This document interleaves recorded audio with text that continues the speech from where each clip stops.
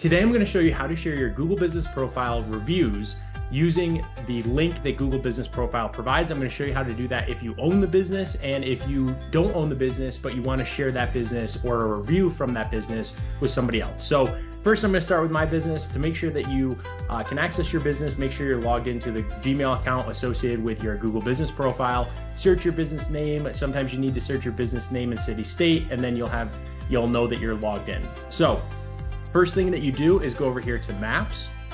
And once you go to the maps, you're going to see a share button. You can use this share button to just share your Google Business profile, the entire profile. But if you want to share specific reviews, then you go down here and you can pick the review that you want to share.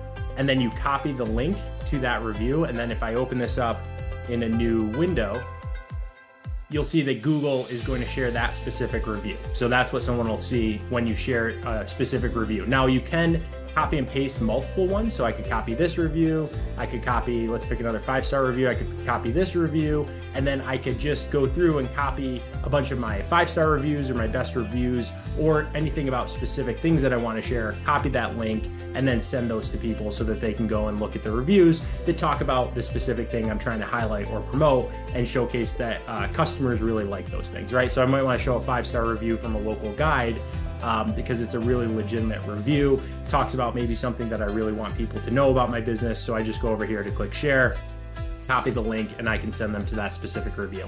Now, if you don't own the business, you can still share specific reviews from that business.